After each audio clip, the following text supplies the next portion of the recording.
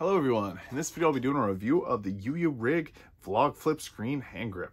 So, this is a little piece that can slide onto any cold shoe, so if you have a tripod you can put this on, and what it's meant to do is the mirror reflects what's on the screen, so while you're recording, let's say a YouTube video, I'm using one right now and I'm able to see my screen while still using the back camera, which is much better quality.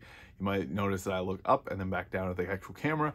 That's when I'm using the, um, the little viewfinder there. I bought this one because my current one doesn't have a quarter 20, or it doesn't have a cold shoe mount on the top. And I got this because it has a quarter 20 screw. I was really excited, but you can't adjust the mirror on this one, whereas you can on the one that I have. Um, and this causes an issue because when I slide this on, I don't see the screen whatsoever. So using this kind of became useless to me now because it doesn't actually reflect what I'm looking at. Um, but it probably would work better on something like a DSLR camera. I should have looked before I bought this, but um, I assume that it would be similar to the one that I have where you could adjust it or it would be, it would fit just right in that spot, but it kind of reflects bit differently. So it doesn't really work on my current iPhone setup that I have. Um, it came with a UURig slash Ulanzi um, little bag here, which is kind of interesting that it came with something like that because the bag feels like it's a little bit more quality than the little attachment itself.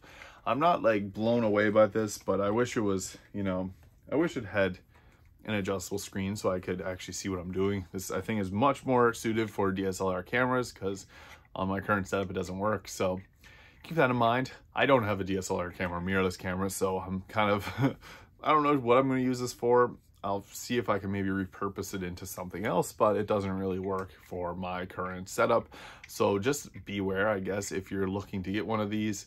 Um, I got one that can adjust up and angle around, so I have it perfectly set up on my phone so I can see my screen very well, and it just sits right above the phone, so it makes it really easy. This one, on the other hand, it looked good. It made my setup a lot more simple because I was able to put my mount my light on top, but doesn't work. So yeah, that just kind of was a little, a little bit sad, but yeah, it is what it is. Thank you for watching. If you enjoyed this video, please hit the like and subscribe button below, and I'll see you in the next video.